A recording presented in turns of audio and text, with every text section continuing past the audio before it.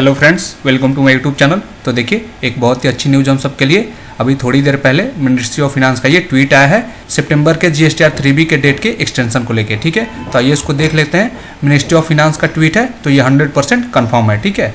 ये बोल रहे हैं कि सितंबर 2018 के जी एस बी का जो लास्ट डेट है, उसको अब 25 अक्टूबर 2018 कर दिया गया है, ठीक है? मतलब आपको पाँच दिन का एक्सटेंशन दे दिया गया है।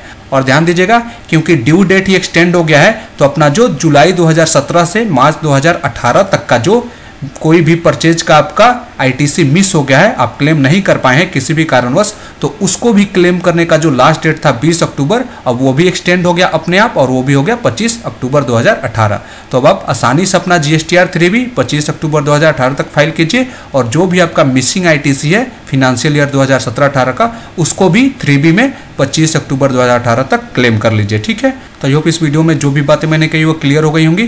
तो अगर आपको मेरा ये वीडियो अच्छा लगा तो इसको लाइक कीजिए और लेटेस्ट अपडेट्स के लिए मेरे चैनल को सब्सक्राइब कीजिए thank you thank you for watching my video